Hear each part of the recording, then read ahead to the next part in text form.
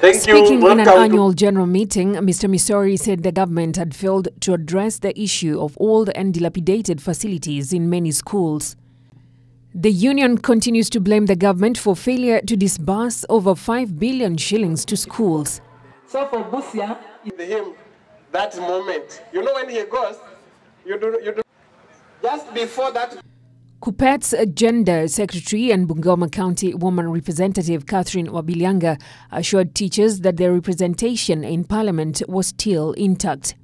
Over 100 schools have been hit by student unrest in the past two months, even as policymakers scramble to identify the causes of the crisis that threaten to get out of control.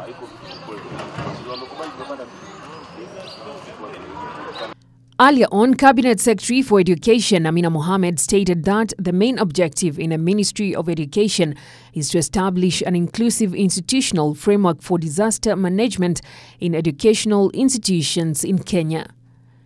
She pointed out that this comes at a time when the education sector is confronted by effects of heavy rains as well as the spate of fires that have destroyed school infrastructure in various parts of the country.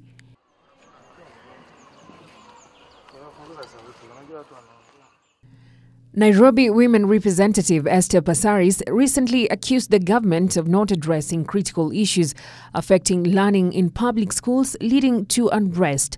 She questioned the goodwill of the government in addressing the problem of quality education in schools. Wanjiro Minor, Ebru TV.